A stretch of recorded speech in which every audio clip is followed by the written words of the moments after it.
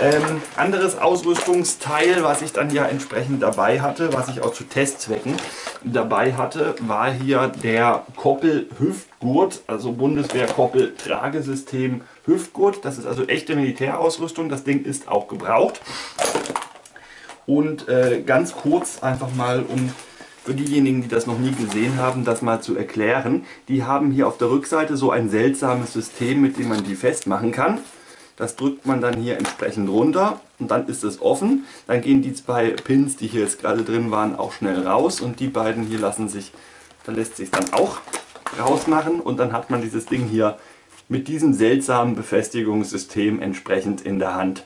Lässt sich schnell anbringen, lässt sich schnell entfernen, insbesondere wenn man ein bisschen Übung hat.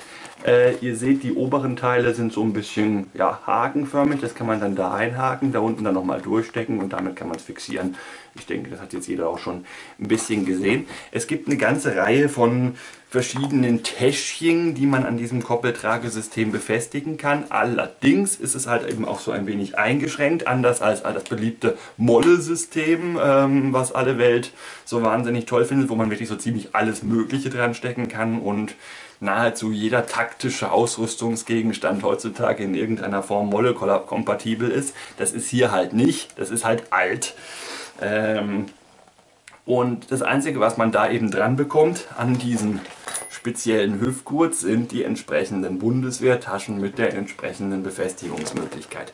Es gibt noch irgendwie solche Dinger hier, also dieses hier als Adapterplatte quasi, die man sich dann an irgendwelche andere Ausrüstung dran schrauben, dran nähen, dran kleben kann. Ähm, also für, wer mit diesem Teil hier wirklich gerne rumrennt, hat da schon Möglichkeiten, alle mögliche Ausrüstung dran zu befestigen. Ist ein bisschen äh, umständlich, aber für mich ist es erstens mal so ein gewisser Nostalgiefaktor, weshalb ich das ganze Teil dann doch ganz cool finde. Das trägt man bei der Bundeswehr je nachdem welcher Truppengattung man angehört, äh, zum Zwecke des Transports von zum Beispiel der ABC-Schutztasche. Die hängt dann da halt eben auch dran. Oder äh, ja hier das große Ding hier hinten, das nennt sich große Kampftasche und da kriegt man ja auch wirklich einiges rein. Das habt ihr auch im Rahmen des Videos ja mal gesehen, was ich da so zum Beispiel drin hatte. Die ist schon wirklich ziemlich geräumig und erfreulicherweise auch nochmal innen unterteilt mit links und rechts so einer kleinen Extratasche und hier hinten ist auch nochmal so eine flache Einschubtasche. Äh, der Deckel ist gummiert und damit wasserdicht. Also wirklich wasserdicht auch, nicht nur wasserabweisend. Das dauert also sehr lange, bis es da reinregnet. Äh, Gleiches gilt auch für die Rückwand. Hoppla. So, die ist ebenfalls gummiert. Also da, das, da, da, selbst wenn das Wasser den Rücken runterläuft, dann läuft so schnell nicht in die Tasche. Es dauert also wirklich... Oh, das Modell, was ich hier habe, da gibt es verschiedene, ist sogar komplett innen gummiert. Also die gesamte Tasche ist nahezu äh, bis vollständig wasserdicht, außer äh, dass unten halt Löcher dran sind, damit wenn doch Wasser reinkommt, das dann auch ablaufen kann. Ist ja meiner Meinung nach auch ganz sinnvoll. Also ein guter Schutz auch für empfindliche Ausrüstung in diesem Täschle äh, zu transportieren. Da ist noch eine Buschbox drin, stelle ich gerade fest. ähm, das funktioniert eigentlich wirklich wunderbar. Aber ich wollte euch ja eigentlich erstmal noch mal ein bisschen was zum, zu diesem Hüftgurtsystem erklären. Äh, normalerweise ist hier, das sieht man zum Beispiel an diesem Ding, was hier noch dran hängt, noch ein Schulterteil äh, dran, dass man sich das Ganze noch über die Schulter hängen kann. Habe ich auch, zeige ich euch gleich. Ähm, man kriegt aber halt eben teilweise bei verschiedenen Ausrüstern im Internet eben diesen Hüftgurt auch separat und muss sich dann halt noch die entsprechenden Täschchen dazu kaufen. Und der große Vorteil, was ich eben sagen wollte bei dem ganzen System ist, das kostet nahezu nichts. Also so ein Hüftgurt only, dafür habe ich glaube ich 2 Euro gezahlt.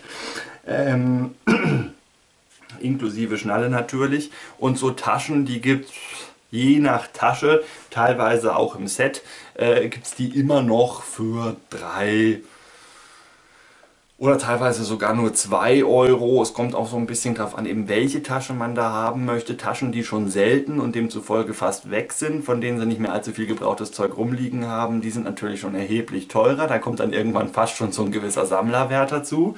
Ähm, wenn davon nicht mehr viel zu haben ist, während zum Beispiel so eine G3 Magazintasche, wie dieses Ding hier, diese hier, äh, dafür habe ich wirklich nur 2 Euro gezahlt. Und ihr seht, die ist auch schon relativ geräumig. Und generell haben fast alle Taschen diesen nicht unbedingt schnell zu, aber schnell auf Verschluss, der dadurch zu öffnen ist, dass man hier oben an der Lasche zieht und in dem Moment hat man schon die ganze Tasche auf. Aber im geschlossenen Zustand ist das auch wirklich super stabil.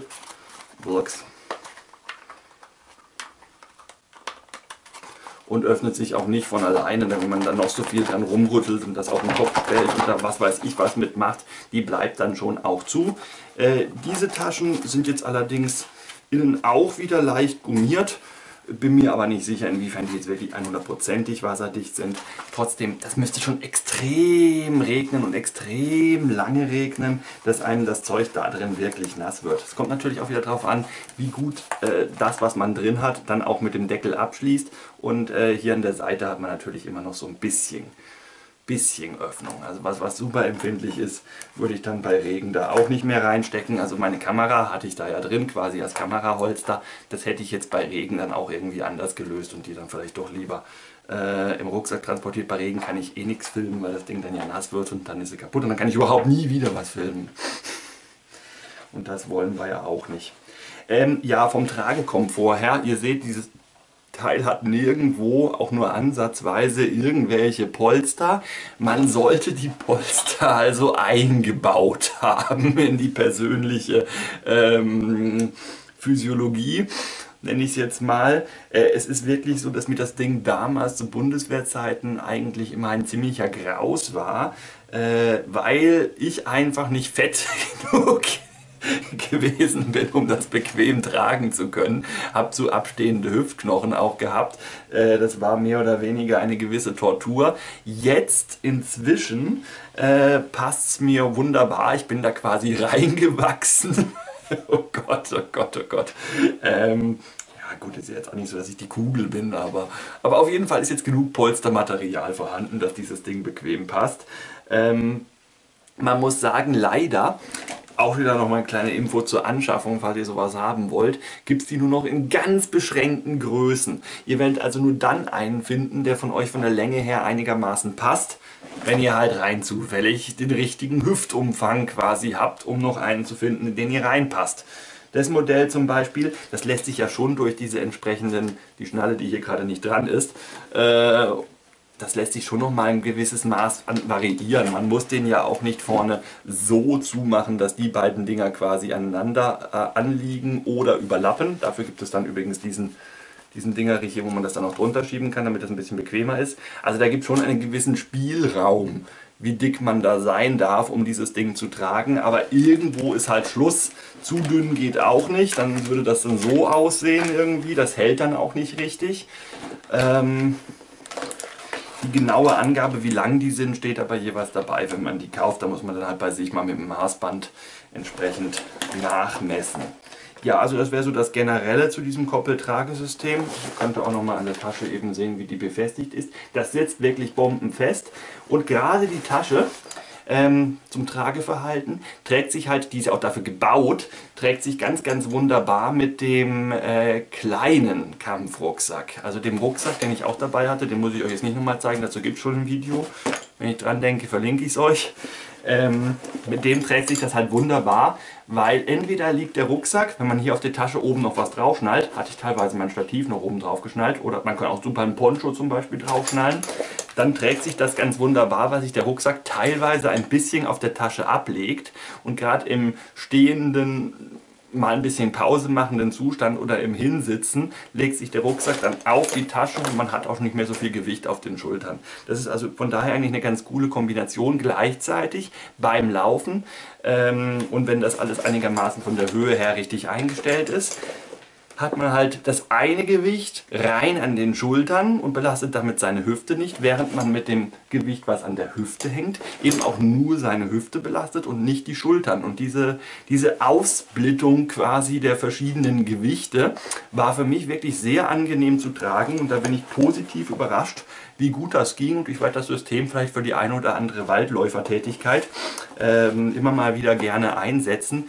Jetzt so für Trekking-Tour komme ich mir, ich habe da wirklich so ein bisschen ein Problem mit. Das kann man ja jeder sehen, wie er möchte. Manchen Leuten ist das auch völlig egal, aber ich persönlich habe ein Problem mit Flecktarn. Ich laufe damit gern, ungern an irgendwelchen Orten rum, die doch mit einem gewissen Publikumsverkehr äh, äh, zu rechnen haben.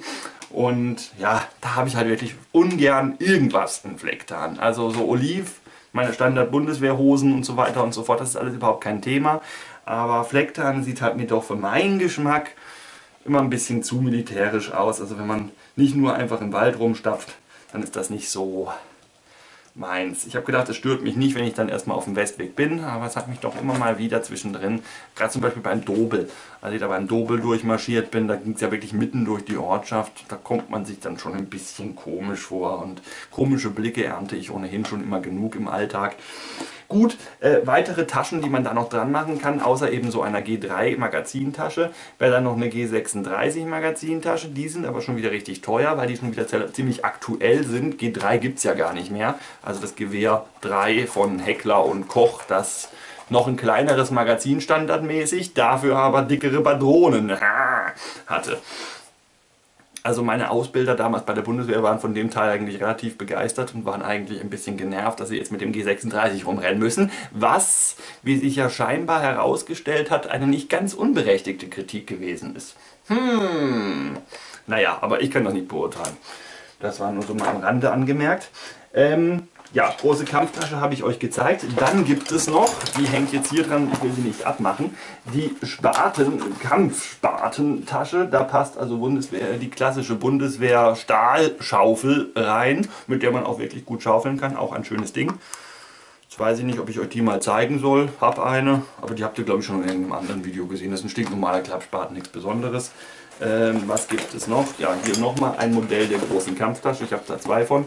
Die ist auch komplett gummiert, ist allerdings insgesamt ein bisschen älter und ein bisschen länger gebraucht als das andere Ding, weshalb ich die andere jetzt eben primär dabei hatte. Ansonsten sind die absolut identisch. Das hier ist ganz schwer noch zu bekommen im Internet, ist eine Feldflaschentasche für den Koppel. Da passen sämtliche gängigen Militärfeldflaschen rein, also auch die von den Amis und so weiter und so fort. Zumindest nach dem, was ich bisher ausprobiert hatte. Ich habe jetzt nicht alle ausprobiert, aber die haben ja alle ungefähr das gleiche Format. Und die konnte man dann halt auch wunderbar am Koppel transportieren. Bin mir nicht sicher, ob die dann immer auch ganz zugehen, weil eigentlich ist das Teil für eine recht rundliche Flaschenform ausgelegt. Das könnt ihr so sehen, wenn ihr jetzt hier mal... Ne? Also für die Original-Bundeswehr-Feldflasche das Ding mit der Metallhülle drumherum, grauenhaftes Teil, kann ich überhaupt nicht leiden. Also nicht alle Bundeswehrausrüstung ist toll, aber die würde da eigentlich originalmäßig reinpassen. Und dann ist das natürlich auch wieder mit dem gleichen Verschlusssystem wie alles andere auch versehen und hat wieder Löcher zum Wasser ablaufen, wenn das Wasser mal ausläuft schwierig dran zu kommen. Ich persönlich nutze das Ding überhaupt nicht für irgendwelche Wasserflaschen, sondern für irgendwelche Zusatzausrüstung, die ich mir dann da... Zum Beispiel kann man da eine Regenhose und eine Regenjacke reinstecken. Nicht unbedingt beides, aber mindestens eins von beiden habe ich zum Beispiel dann auch ganz gerne dann so ein bisschen am Koppel rumbammeln, dann hat man sofort griffbereit. Den muss man natürlich kurz abmachen, wenn man die Hose wechseln möchte. Je nachdem wie hoch er sitzt, vielleicht auch nicht. Das ist persönliche Vorliebe. Und was gibt es noch? Ja, ich glaube, das war es im Wesentlichen. Theoretisch gäbe es jetzt noch eine ABC-Schutztasche, die man da dran machen kann. Das ist nochmal so ein Mittelding von der Größe zwischen dem Wasserflaschentasche und der großen Kampftasche, also diesem Ding hier. Aber an eine ABC-Schutztasche bin ich hinten und vorne nicht mehr dran gekommen. Ich hätte gerne eine, aber die gab es nicht, da wo ich im Internet geforscht habe und ich forsche jetzt auch nicht jeden Tag nochmal nach.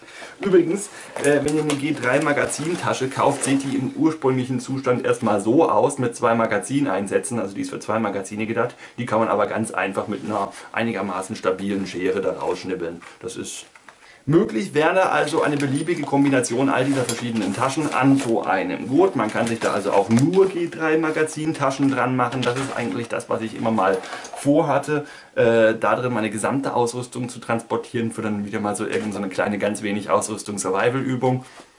Kommt vielleicht auch mal irgendwann. So, und jetzt, äh, wie ihr seht, ist das hier ein komplettes Koppeltragegestell mitsamt äh, der Schulterplatte, an der sich dann übrigens auch nochmal Zeug äh, äh, befestigen lässt, halte ich für eine relativ blöde Idee. Ich habe es mal ausprobiert, mit zwei großen Kampftaschen durch die Gegend zu rennen, aber man ist dann halt doch nochmal praktischer, wenn man stattdessen einen Rucksack aufsetzen kann. Und das kann man nur, wenn man hier nichts dran hat. Deswegen Und es gibt hier auch an den Schulterteilen auch nochmal jeweils einen Träger für irgendwas Kleines, wie zum Beispiel eben so eine Magazintasche. Das ziehe ich jetzt mal schnell an, zeige euch das dann noch und dann haben wir es auch endlich. So, mein Kopf passt nicht mehr ganz drauf. Ich habe hier nur begrenzte Möglichkeiten, die Kamera weit genug wegzustellen. Aber ihr seht, das ist jetzt im Prinzip eben dieser Hüftgurt, der in Verbindung mit dem äh, Rückentragesystem eigentlich dann eher mehr ein Bauchgurt ist. Also der sitzt, meine Hüftknochen sitzen hier also wirklich direkt drunter. Ich persönlich finde das ganz bequem, weil wenn man den dann hier schön festzieht, dann hängt der einem wirklich bloß quasi an der Wampe und das Hauptgewicht, ein großer Teil des Gewichts mit äh, Schulterriemen sitzt ja auch auf den Schultern und damit äh, ja, verteilt sich das eigentlich ganz gut. Und das bisschen, was man dann noch an Gewicht an der Hüfte hat, muss man dann meiner Meinung nach, kann man das ruhig am, am Weichteil lagern, dann kann halt auch nichts auf irgendwelchen Knochen scheuern. Und für mich ist das vom Tragen her so am angenehmsten. Äh, bei der Bundeswehr kriegt man da wirklich jede Menge Zeug dran gepackt teilweise, muss auch da ordentlich Gewicht mit sich herumschleppen, also inklusive dem Klappspaten zum Teil, der allein wiegt, ich glaube 1,2 Kilo. Äh, das für meinen Teil ist ein bisschen fragwürdig, wie viel Zeug man da wirklich dran packen sollte. Also ich würde mal sagen, wenn das Teil, das Gesamtgewicht vom gesamten Tragesystem äh, die 4 Kilo Marke überschreitet, dann wird es einfach so unbequem, dass man da nicht unbedingt mehr Spaß mit hat. Ansonsten natürlich die Deckel, wenn sie offen sind, klappern jetzt ein wenig. Aber gerade wenn es dann entsprechend voll ist, wenn man es dann auch noch ein bisschen hier noch mehr fixiert, was gerade gar nicht so einfach ist, weil ich den Riemen ein bisschen blöd eingestellt habe. Aber man kann sich das schon wirklich ganz gut so festmachen, ähm, dass da nicht mehr allzu viel wackelt. Aber auch hier ist wieder der Nachteil, diese Schulterriemen, die sind in keinster Weise, also wirklich überhaupt fast nicht, bis auf hier ein wenig, ähm, in der Länge nennenswert verstellbar. Das sollte schon von vornherein einigermaßen passen, beziehungsweise meine hier, die ließen sich jetzt nicht nochmal länger machen. Dann müsste ich quasi noch ein zusätzliches Stück Stoff da irgendwie annähen und dann wird es doch so viel ähm, Selbstbauweise, dass es ein bisschen kritisch wird. Und natürlich ähm, hat man dann das Gewicht quasi der oberen Teile nur auf der Schulter, beziehungsweise das auf der Hüfte nur auf der Hüfte, sobald man sich in irgendeiner Form bückt. Da hängen die Teile nämlich durch und äh, ja, das sind alles so ein paar Sachen. Ja, dafür lässt sich halt eben dazu noch wunderbar einen Rucksack aufsetzen, wenn der nicht allzu weit runterreicht. Das ist halt eben limitiert dadurch, dass halt ein großer Rucksack dann relativ schnell diese Tasche da stört. Jetzt könnte man natürlich sagen, die lässt man weg und packt sich nur Zeug hier an die Seite. Kann man auch machen. Das wäre also auch nochmal so eine Variante.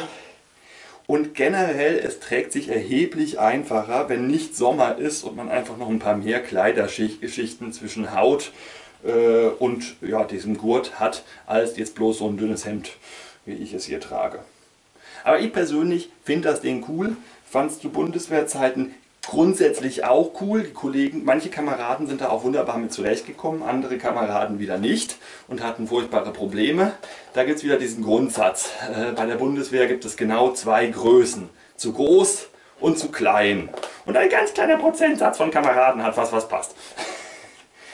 Und ähm, ja, ich habe halt eben jetzt das Glück, quasi zivil mir ein wirklich gut passendes Modell nachgekauft zu haben. Und damit konnte ich wirklich gut leben muss dann halt jeder für sich selber entscheiden, ob er sowas braucht. Kostenpunkt dessen, was ich hier jetzt anhabe, ähm, ich glaube, eine große Kampftasche mit einer Spatentasche plus eben diesem Gestell, ohne jetzt die Magazintaschen, äh, kostet derzeit irgendwie so 15 bis 25 Euro, zum Beispiel ähm, bei ASMC, meine ich, so als Set. Ob man die noch einzeln bekommt, wird schwierig, da müsste man dann ein bisschen bei Ebay gucken vielleicht. Äh, aber Näheres dazu weiß ich jetzt auch nicht. Ich bin da gut mit zurechtgekommen. Ich hätte auch so wandern können. Das war ja eigentlich mein ursprünglicher Plan. Also wirklich auch mit dem Ding mit Schulterträger.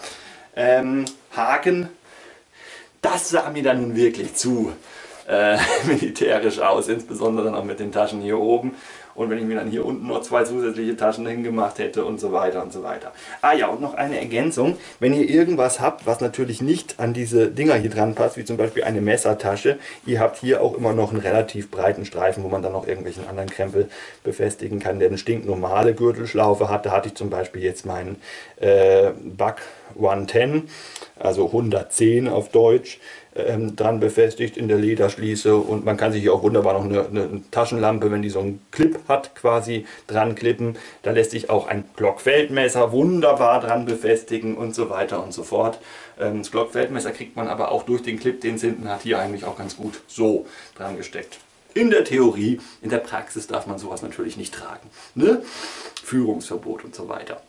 Gut, ähm, das soll es dann gewesen sein. Weitere neue Ausrüstungsgegenstände, die ich auf der Tour zu testen gedenke, ist ja nach wie vor der Schlafsack, aber dazu sage ich dann erst ganz am Schluss was, der muss noch ein paar Nächte ähm, herhalten. Ja. Und für den nächsten Abschnitt habe ich dann wieder, wie gesagt, ein bisschen andere Ausrüstung. Der startet auch in ein paar Tagen und dazu gibt es dann auch entsprechend bald äh, die nächsten Videos. Mal gucken, was ich da mitnehme. So hundertprozentig sicher bin ich mir noch nicht. Also, macht's gut, bis dahin. Ciao.